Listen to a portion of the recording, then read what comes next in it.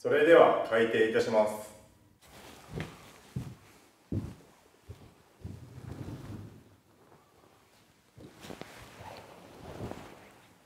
東院横浜大学の笠原です。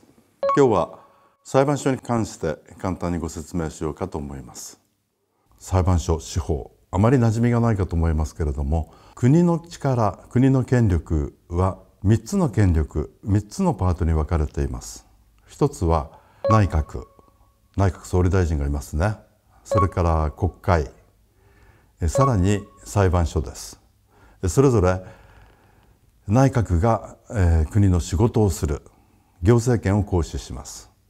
それから国会は法律を作ります。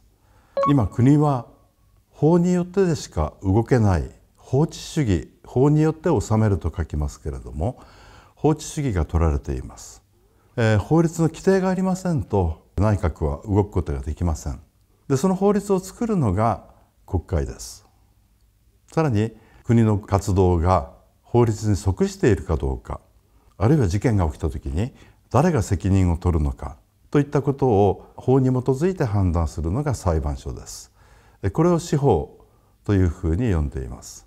例えば人を殺した場合刑法199条という条文があります人を殺した者は死刑または無期もしくは5年以下の懲役に処するという規定になっていますですから人を殺してしまいますと警察によって捕まえられてその事件が検察に送られて検察官が裁判所で控訴の提起裁判を始めることになります。まあ、起訴するわけですね。それでは法廷のそれぞれの場所を簡単にご説明しましょう。今私が立っている場所示談ひな壇が高くなっていますけれどもここが裁判官の席になります。それから先ほど号令をかけてくれた書記官という役割の人が裁判官の前にいます。裁判の記録を取る役割を担っています。